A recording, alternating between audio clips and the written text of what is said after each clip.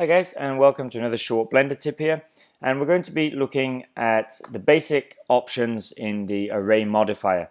So the array modifier allows us to create a copy of an object um, along a straight line or a curve. Um, I'll cover the curves in another tutorial. Um, we'll just do the straight line to start with. So let's say we have this object here, maybe it's um, a column or a, or a fence post that we've uh, made and we want it to be replicated um, at even spaces a certain number of times. Um, you don't want to have to copy and paste, copy and paste, and, and, and, and whatnot. Also, as well, you may want to make changes to the object, and when you make the changes by using the array, it will be um, automatically then um, copied all the way along.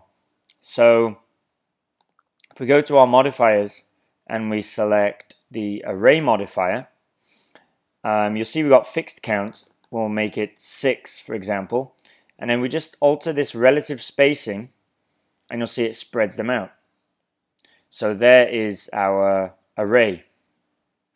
Now once you've done that, um, if you were to go over into edit mode, and you were to make some changes to this first object, you'll see that you can't actually select those other objects because they are just copies of this main object.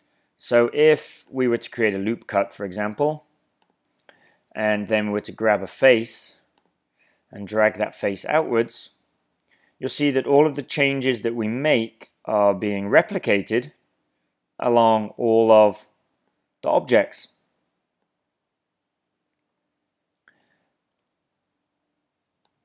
Which is quite useful. So you can make whatever changes you desire and those changes will be copied all the way along.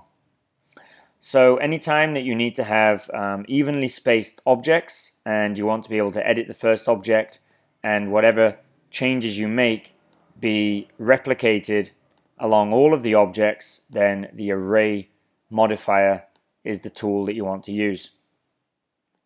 So I hope you found this tutorial useful. Um, in another tip, I'm going to be showing you how we can use the array command to make objects around a center point to make um, a, a circle. Um, so I'll save that for another short tutorial. I want to keep these tips as short as possible. So if you like this, please hit the like button and subscribe to my channel.